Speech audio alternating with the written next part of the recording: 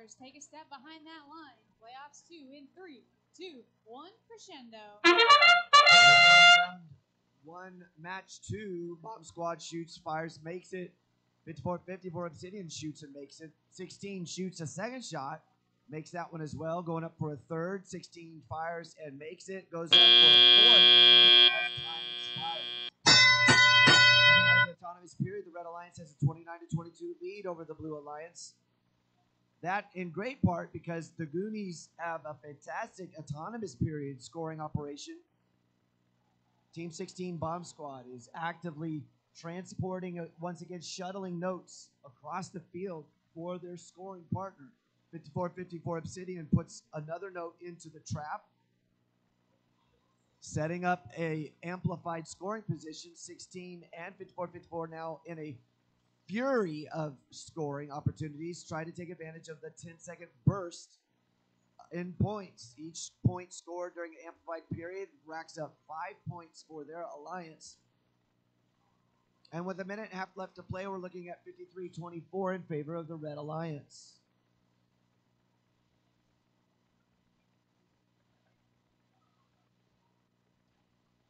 Five thousand two, Red Dragons playing furious defense on the robots, attempting to prevent them from getting robot uh, notes from their human player station. 16 just bullies his way through, absolutely just disregarding the defense, spinning and shooting and moving around.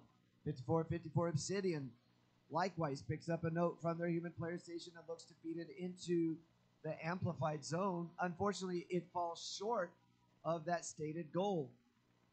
16 skips one off the top of the speaker, endangering people behind the speaker.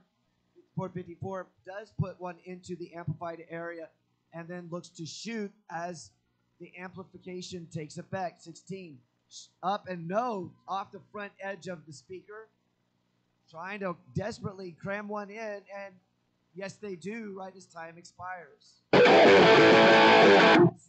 indicates the final 20 seconds of the match as they furiously try to continue to put points on the board here in the end game. 16 looks to climb. They do so easily, pulling up on the chain and able to put themselves in a scoring position. 54-54 just short, it appears, of scoring in the end game. The final score at the end of the buzzer sounds at 65 37. We'll see what the finals are at the end of the round.